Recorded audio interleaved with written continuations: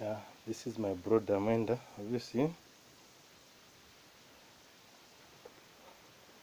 This is the drinker. That's where the water will be. I'm just preparing the place. This is the, the, feeder. To be feeding from here. That's another feeder. And this is the grass.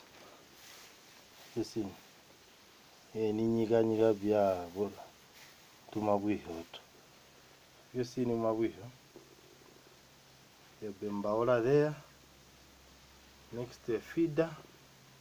The water will be a bit far there. And the other water will be a bit far. I mean the other feeder will be there. One feeder one drinker and two feeders. This will take 200 chicks. Mm. You've seen yeah? and my light. So be my light. Just drop it.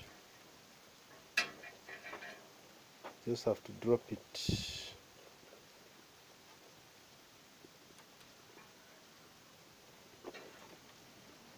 I'll just drop it there and I'll put a bulb there.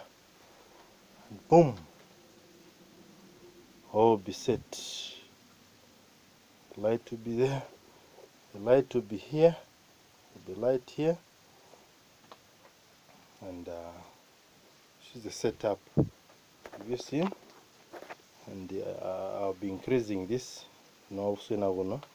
Automa bricks out. This line of bricks as the chickens grow I'll be coming further. I'll be increasing the space. To be coming coming coming coming until I reach somewhere here. All this seen good.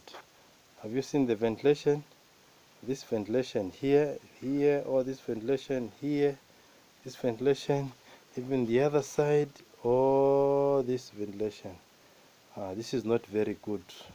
Even this needs to be increased so uh, this needs to be reworked on. So that's how you set up the brooder thank you